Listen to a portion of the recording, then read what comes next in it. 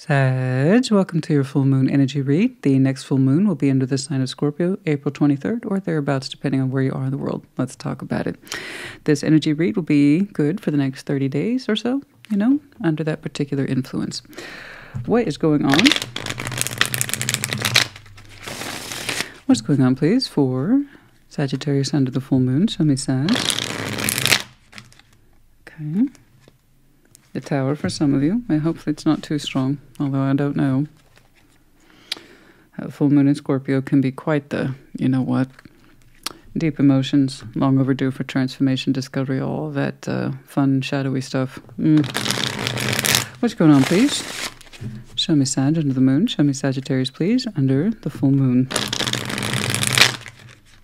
Okay. Let's do that one more time. Show me Sagittarius, please, under the full moon. There we go. Like always, take what resonates, leave what does not. And if there's more than one energy clearly apparent to you on this board today, then you reverse those energies as you see fit. These are, after all, general collective readings, not one to one private, which is to say they may not resonate at all, which is frustrating but normal. Okay, check your other placements. You'll find yourself in there somewhere. Okay, crowning you, the magician, uh, the devil, mm, strength, two of wands, the moon. Oh, how appropriate. Okay. There's something here I see that you want, but you don't know if it's correct. If it's coming from a bad place, is that desire coming from a bad place? So, to your credit, you do want to do the right thing. You have four, four majors and a five card draw. Right there at the heart of the reading is indeed the moon. So, influencing you now, of course. And while you do want something, you are desirous of it, the magician devil. There is an admission here with strength under all this that says, and the two of wands. Why do I want this? Is it for good reasons? Is it for not so good reasons? Why am I trying to pull this towards me exactly? That's why we need to take a look at the moon at the heart of your reading. So we're going to start right there. Show me that moon, please. Show me the moon for Sag. Show of the moon, please. Some of the moon, some of the moon, some of the moon.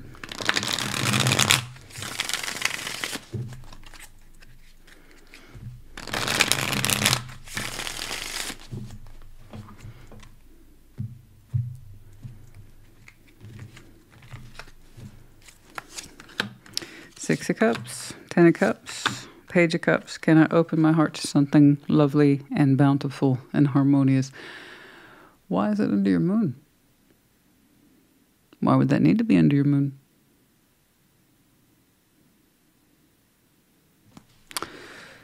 These are all lovely right here. Six of Cups, Ten of Cups, Page of Cups.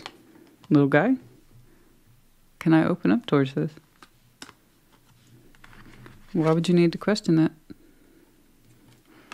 Under your heart's desire. An emotional secret.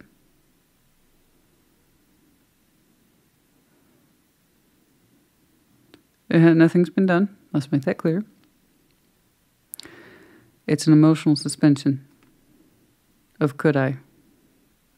Do I really want this? I don't know. It's almost like you don't dare admit it to yourself that I would love to open up to all this lovely loveliness that is, well, frankly, just love, but also underneath that particular umbrella that is the Ten of Cups. So the Ten of Cups is like the umbrella. Okay. These are the people in our lives that have some sort of emotional value to us. Okay. Out of that sense of umbrella is a specific connection, Six of Cups, that represents if either a soul bond, someone whom we've known a long time, memories that are unique in that particular connection. It's like, do I dare open my heart up to all this? I don't know. Do you dare? And if so, why are you afraid of it? Oh, I can't wait to see your devil because uh, you are manifesting, so let's be aware of that, yeah? You can say it's unknown to you and unknown to you. Okay, that's the problem with the moon. So long as it remains hidden to ourselves, we won't allow ourselves to fully acknowledge what we're feeling, thinking, etc. We will go around manifesting, dressing our manifestations up as something else with the real intent behind it. which means if it does come towards you, there's a good chance you'll reject it if you don't understand what it means to you and that you want this in your life. So just FYI. All right, let's see that magician. Let's see the magician, please. Show me the magician. Show me that magician, please. Show me the magician.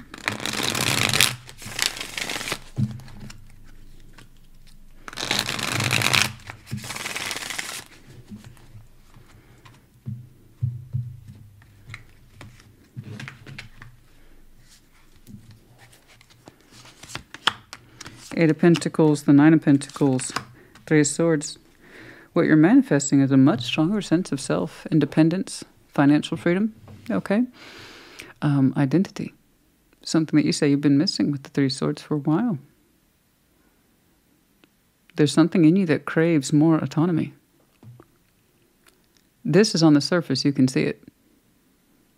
You see it on the surface. That's easy. That's the easy part the unregistered emotional motivation behind it. Okay. That's what I want you to be more aware of. You're striving for independence, you're striving for autonomy.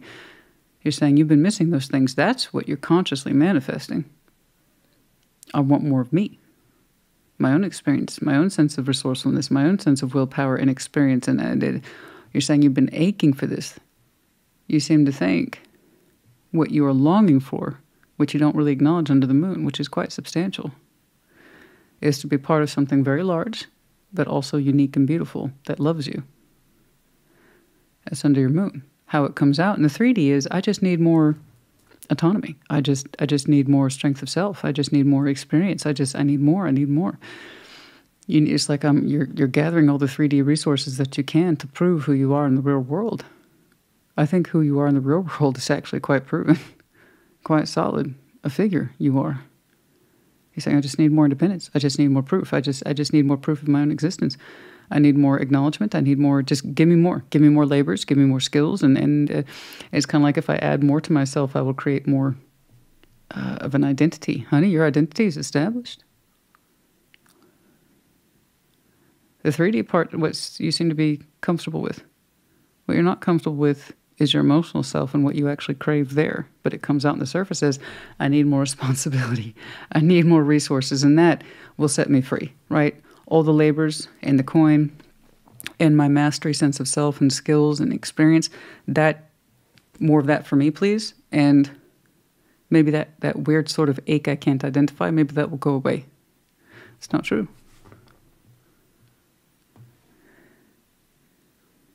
That's not true. I think your 3D world's quite established. You look like someone who's high functioning, but there's still the ache in there with the Three Swords.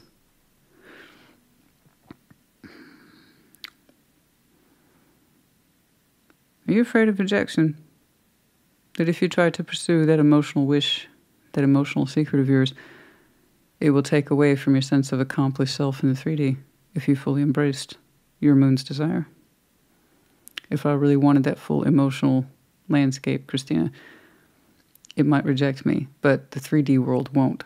I'm too much of a valuable player. I see. Yeah, like I said, you're much more comfortable in the 3D, what you can see, control, and take part in, right? That's that's your lane. Am I right? And then there's that another lane that you've never really tried that requires you to really emotionally invest. Is that why you feel achy on the inside? And you think if I just add more responsibility to myself, I'll be better defined and I won't have that emo- emotional chasm. Okay. Because uh, let me tell you, in that 3D, honey, I don't think you can add much more responsibility to yourself. you look so bright and shiny in my eyes. Whatever happens in 3D, you make it happen. You're very accomplished. Some of you have a couple of titles attached to you. That's how strong that impression is. More coin, more titles. Never fully eradicates that sense of achiness. So you try to accomplish more and more. The magician's there. It's like, I know how to do this one. I know you do.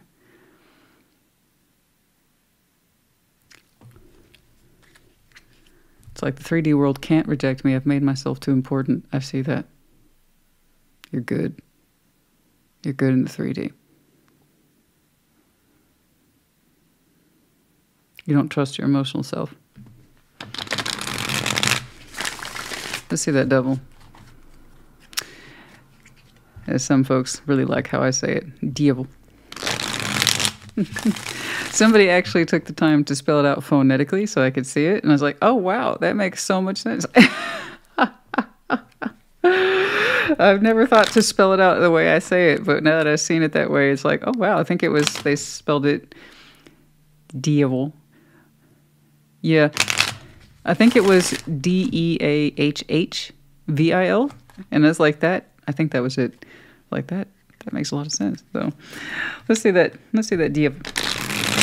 Let's see the devil, please. Show me that devil. Show me the devil. Show me the devil. Again, the devil. We all have one. we all have a devil. How big and scary and strong he is depends on how much he has fed our insecurities and fears, patterns, and things like that. But more to the point, the inability to recognize it. That's why he's allowed to thrive. That's stuff we turn a blind eye to. Let's see that devil. Nine of Swords, anxiety. Ten of Swords, Two of Wands. You fear hurt. Just make that clear. You have a pattern of fearing pain. I saw it briefly attached to you.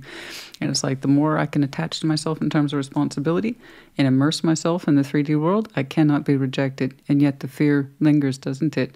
The fear of the unknown. What is that, my friend?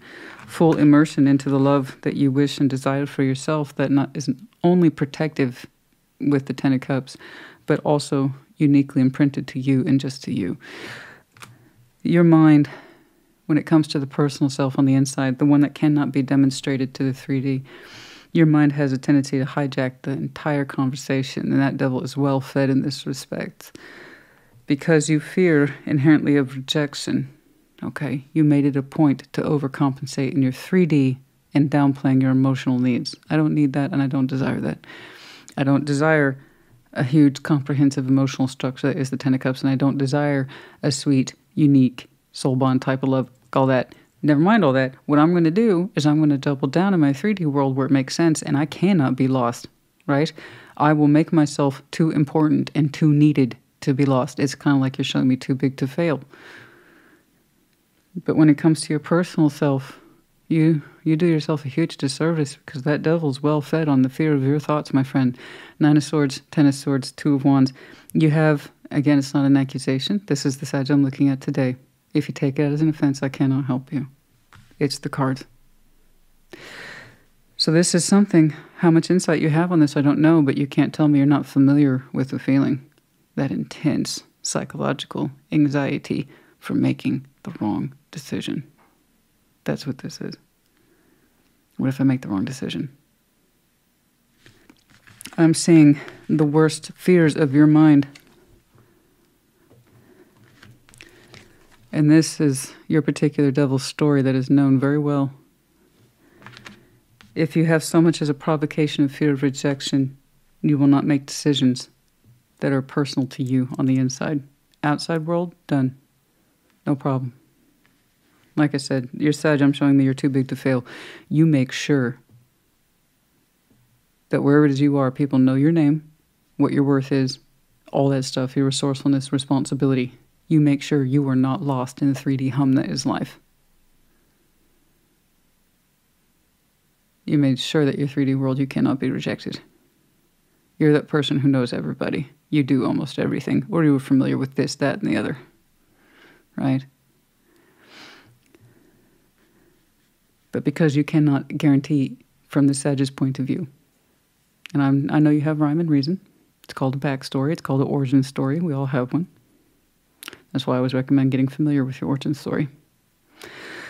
For your particular origin story, you're saying emotional investment has not gone well for you. You've had serious cases of rejection, instability, and your worst fears or insecurities played out over and over again at the emotional level. So, what you really want, while it's beautiful, you're saying it's a luxury, or it's no such thing, or it's silly. So, you give it not too much thought because it represents that fear of weakness. When it comes to my emotional self, I've had too many experiences to tell me I can't trust that level of connectivity, or it's not possible for me. Maybe it is for other people, but not for me. Good luck for them. But that's not my gig. My gig is to work. My gig is to be known. My gig is to make a name for myself. That way I can never be dispersed. I can never be written off, or I can never just be dislodged. I'm connected to everything and everybody. Here is where the devil takes hold the repetition of high anxiety fears. Because the bigger the emotional stake, the bigger the loss, right? Strength. Show me strength. Show me strength, please. Oh, we'll get to it. We'll get to it. I can tell that that devil shoots his mouth off a lot, but it comes out in the form of anxious thoughts that are repetitious or repetitive. Excuse me, repetitive. Thank you, stutter. That are repetitive. Absolutely.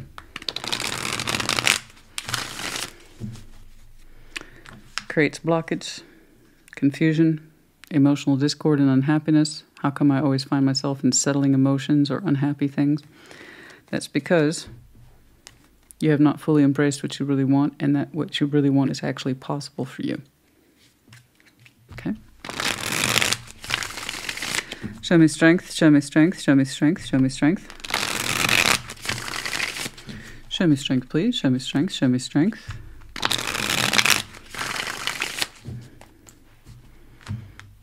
Let's see if we can throw that devil out of the loop a little bit and get you some mental relief in there. Something something. King of Pentacles. Oh, I know you're resourceful, honey. Three cups. And then um, Leo had a similar combination, but for the kind of different output. Okay. Um, and I promise you, I shuffle these cards many, many times. They were supposed to come out the way that they did. Uh, strength. You have a natural strength in you that says you know how to connect. You do. There's something here on the surface Whereas the King of Pentacles, it's actually quite easy for you to socially connect. I know, like I said, you are that sage who makes sure that your name is in other people's mouths as a point of reference. This is where you shine. But your emotional connectivity doesn't really go beyond a three of cups. So while you get kind of hooked on the surface that this could be, excuse me, could be something potential of useful to you, that you might actually enjoy it, you don't take it deeper than that, do you? Your ability to make connections high. Your ability to use those connections for yourself personally in a way that says emotional fulfillment low. You are that person who is very proud of what you are able to connect with and how frequently. You're that person who says, I keep myself open. What are you talking about? Uh huh. You keep yourself open with a cap, a limit. You have a self imposed glass ceiling that says, if I keep it on the surface, where it's of practical value and resources, I can't lose. But then you're dissatisfied about why it doesn't go deeper. You want so much more. But on the output, you say, I'm fine where everything is. I'm awesome. Look at who I'm connected to. But where do they connect to you? Here. What's that connection that has ever punched you so hard in the heart you never forgot? Where is that allowed in your life? Why? Have you ever made room for it? Did you ever know you wanted an umbrella? Emotional resources that go beyond what you can do with it practically on the surface.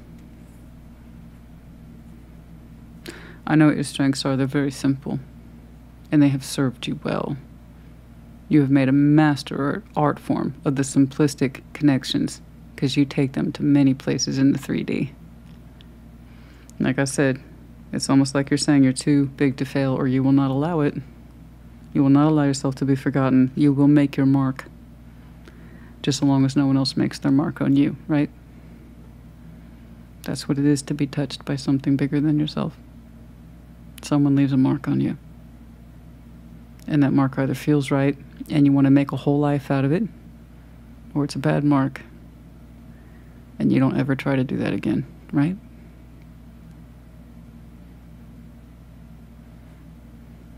I wonder who last tried to make their mark on you.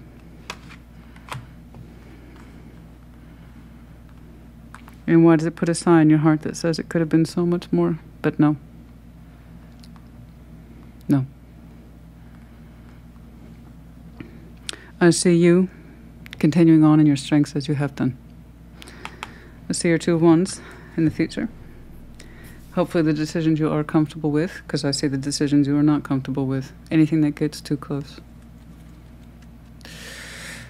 This is coming up for you under the full moon. I see it distinctly. I hope you spend more time with it, understanding it, and therefore understanding yourself better, not just your surface presentation, the one where that side is all scrubbed up and clean and they're ready to go. Presentation, presentation, presentation, yeah? No, no, my friend. I want to know what you look like on a bad day. Does your t shirt have holes in it? You forget to put your deodorant on? You're just shoving food into your mouth?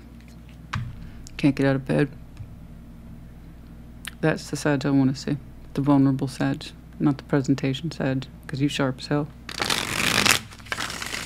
What was that, ZZ Top? Every girl crazy about a sharp dressed man? Woman? No.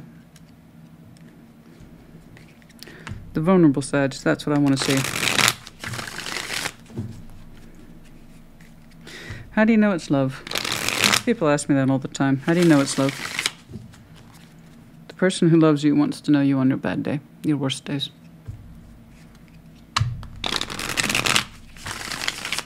because that's as much as part of you as anything else.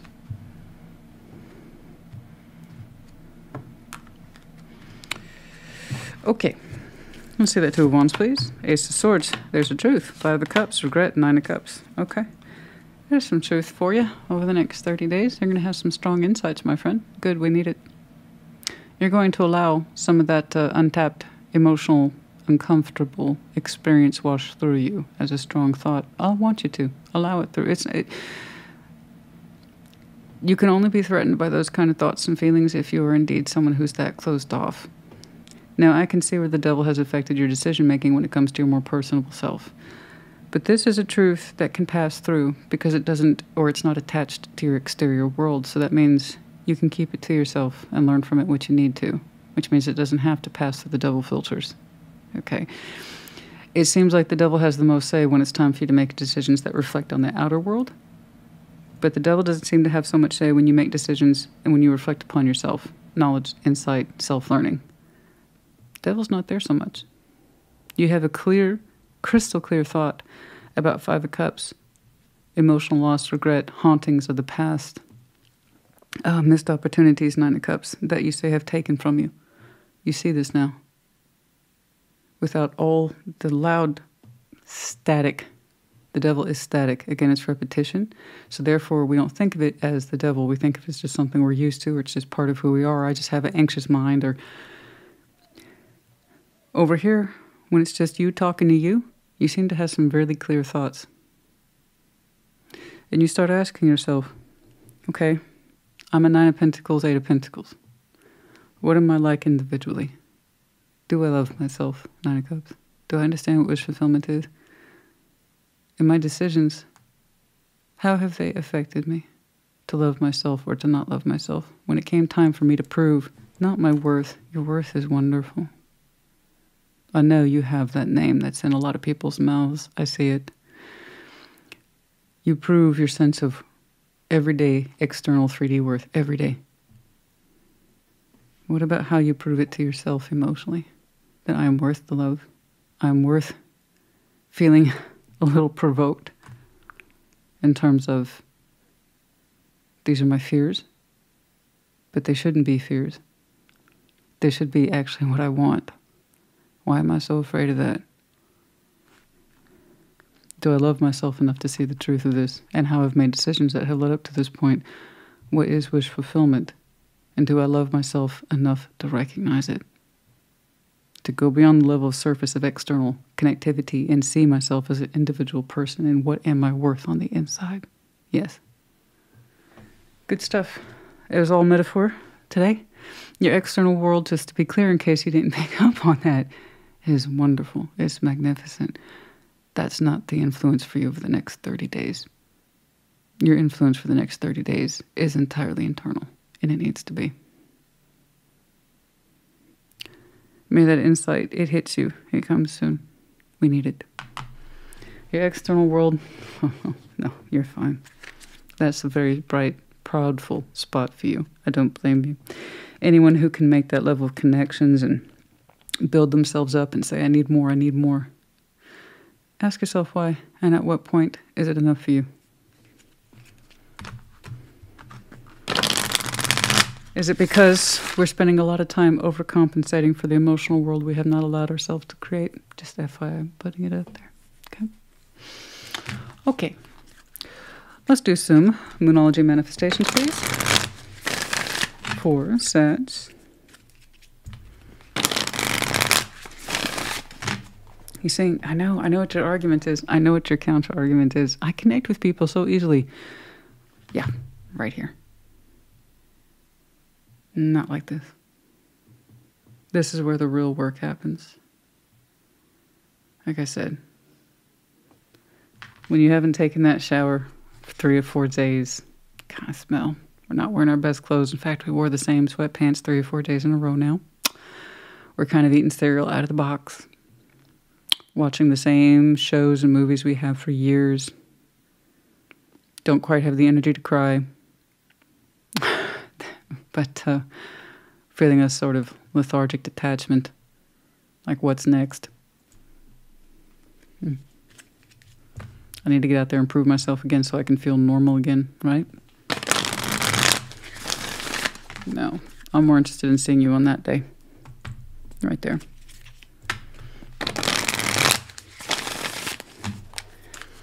I hope you learn what you need to learn and see what you need to see.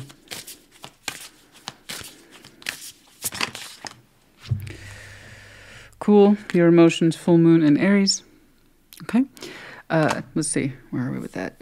Yes, we are technically in Aries season. Some of you might have felt a surge of frustration, mental anxiety. Like I said, frustration, anger. Okay. And then again, if you're uncomfortable with those kind of emotions and what they represent, I can see where again you default to 3D realities. I just need to shore myself up more. Okay. And that will go away we need to cool our emotions, look inward. Okay? There's that conflict. And if you have a spike of Aries in your chart, you're familiar with the fight. That sense of fight. Uh, I got to push past this. Cool down. Clear your mind. That's what I'm saying. Last quarter moon in Gemini. Clear your mind. Absolutely. Right about here. That's where I see the devil stop being mouthy. But again, the devil seems to pop up the most when you try to reflect on what it is that you want externally. When you reflect internally, not so loud. So I want you to use that open opportunity of that absence to your advantage.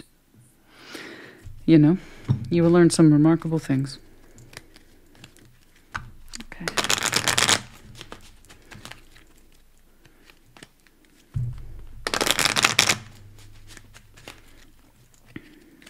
Oh.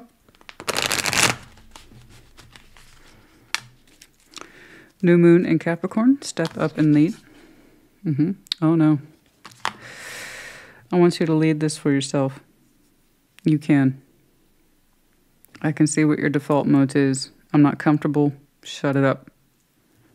No, right here.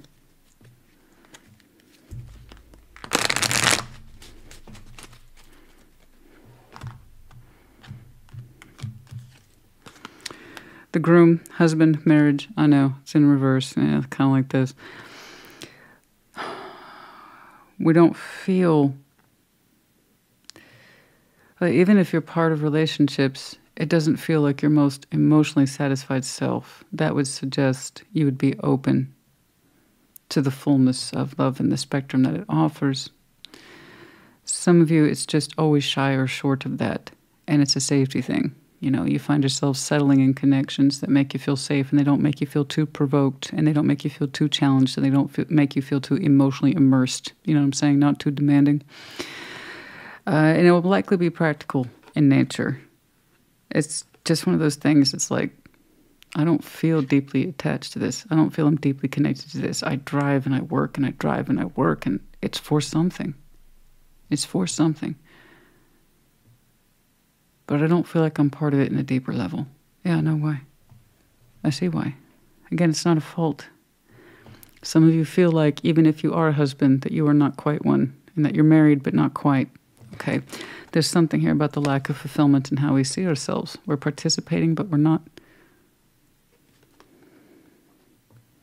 Let me put it this way. Even if you're not married, let's just say groom in reverse. Okay? And let's say you're a single man. Under your moon, this is what you ask for the most. A man or woman who is happily satisfied is in the reverse. I mean, um, the upright is what I meant. Someone who is detached from this, but still gives, suggests that in terms of reality, we have it together, the presentation's there, but we're not connected to the space that really allows us to fulfill our roles as groom, bride, husband, wife. Difference between having something and being connected to it. Big difference. Okay. Okay, the peacock and the sideways, we don't feel we don't feel seen even though you are seen. We don't feel cherished even though you are deeply connected. See what I'm saying? That's that emotional self. When the devil makes fear based decisions for emotional selves, it's like we're there, but we're not there. We've created a whole life, but we don't feel deeply attached to it.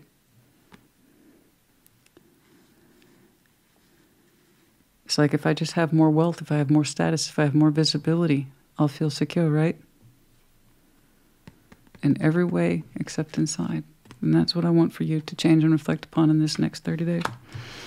Okay, and then there's the old woman sadness. I, uh, I don't know that necessarily there's someone else in here with you, but it doesn't feel like it's a pairing. Okay, it doesn't feel right. I'm saying some of you are connected to partners, but it's not here. It's here on the outside. One of those external based decisions, not your internal based decisions. We don't feel like a fulfilled groom or husband or partner, sex aside. And here we have the old woman, sadness, female. But it's external, everyone can see it. This is this is someone who's over the middle aged, I suppose. Doesn't have to be that particular demographic, but it's that sense where you don't have the fulfillment. Even if you have the the role of husband or wife, it doesn't it's not fulfilling and whom we are attached to is a reflection of this. Huh. Again, not an insult, guys. Those are the cards today. Okay. I see, I had that feeling though, because you don't, when somebody in their deepest hearts wants a full expanse, the full treatment, right? If you ever took your car in to get it professionally detailed, you can get the full detail. It costs the most, but hey, you get the best result inside and out. You, under your moon, say you want the full detail. Okay, so I, as a reader, could do that a couple. You're either single, because you said your autonomy is important to you, but I'm seeing it as status attached to your wealth, name, function. But uh, that means you're on your own and you have not fully admitted to yourself the desire you have in your heart for the full detail. Or you're connected to someone and the desire is the same.